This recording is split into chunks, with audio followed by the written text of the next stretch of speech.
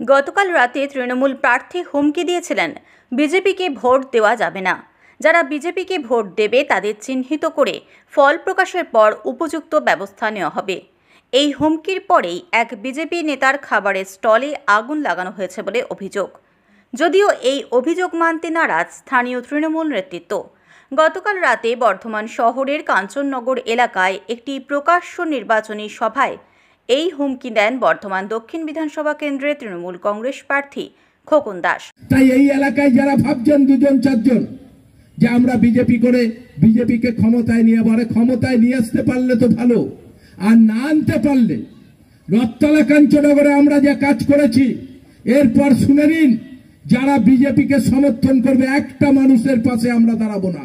একটা মানুষের শত বিপদ আপদ হলে আমরা এই এলাকার মানুষের জন্য সারা বছর কাজ করি।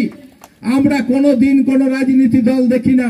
কিন্তু মানুষের ভাবা দরকার যে এবার রথতলা কাঞ্চনগরের ছেলে খোকন দাস প্রার্থী, তাই আমরা কাউকে ভোট দেবো না, আমরা সব ভোটটাই খোকনকে দেব। এই ভোট যদি কেউ আমাদের না দেয়, যারা বিজেপির হয়ে কাজ করবে, যারা এবার ভোটে বিজেপির হয়ে লড়বে, আমরা তাদের চিহ্নিত করে রাখতে চাই। দু তারিখের পর আমরা তারপর দেখব যে কীভাবে কি করা যায় বিজেপির বিরুদ্ধে। মজা পেয়ে গেছেন?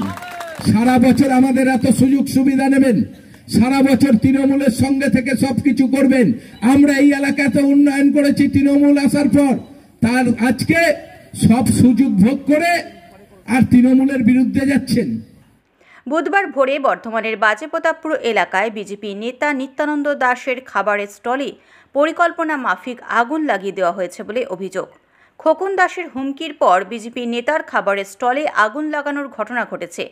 এমনই অভিযোগ বিজেপি যুব মোর্চার বর্ধমান জেলা সভাপতি শুভম নিয়োগীর। আপনারা জানেন যে কালকে তৃণমূল হারমাত বালি মাফিয়া, যাকে তৃণমূল কংগ্রেস টিকিট দিয়েছে বর্ধমান মানুষ যাকে মেনে নিচ্ছে না, তার থেকে জনসমর্থন উঠিয়ে নিয়েছে। তিনি কালকে ওপেন মঞ্চ থেকে হুমকি দিয়েছে যে বিজেপি যারা করবে কি তৃণমূলের লোকই হোক আর যারাই বিজেপিকে ভোট দেবে, তাদেরকে নাকি বর্ধমানে টিকতে দেওয়া যাবে না। যারা বিজেপি সক্রিয় কর্মী, তাদেরকে বর্ধমানে থাকতে দেওয়া যাবে না। সেটা তিনি হুমকি দিয়েছে। ঠিক এবং তাকে চিহ্নিত করা হবে। ঠিক এই ঘটনার পরিপ্রেক্ষিতে গতকালের এই বক্তব্যের পরিপ্রেক্ষিতে তার যে হারমাদ আছে, দুষ্কৃতীরা আছে, দু একটা ওয়ার্ডে ওয়ার্ডে। তারা আমাদের এখানে সক্রিয় কর্মী। পাঁচ নম্বর, আমাদের এক নম্বর নগর মণ্ডলের আটত্রিশ নম্বর বুথের জেনারেল সেক্রেটারি নিত্যানন্দ দাস। তাকে তার দোকান ভাঙচুর করা হয়েছে। আপনারা দেখেছেন কীভাবে দোকানে আগুন লাগিয়ে দেওয়া হয়েছে। আজকে সাধারণ মানুষের তারা রুজি দিতে পারছে না, রোজগার দিতে পারছে না। তারা যে করে কমবে খাচ্ছে সেই জায়গাটাতেও তারা পেটে লাথি মারছে। সব মিলিয়ে গতকাল রাতে খোকন দাসের বিতর্কিত মন্তব্যের পরিপ্রেক্ষিতে আজ সরগরম বর্ধমান দক্ষিণ বিধানসভা কেন্দ্রের রাজনৈতিক মহল। আমজাদ আলীর রিপোর্ট, পূর্ব বর্ধমান।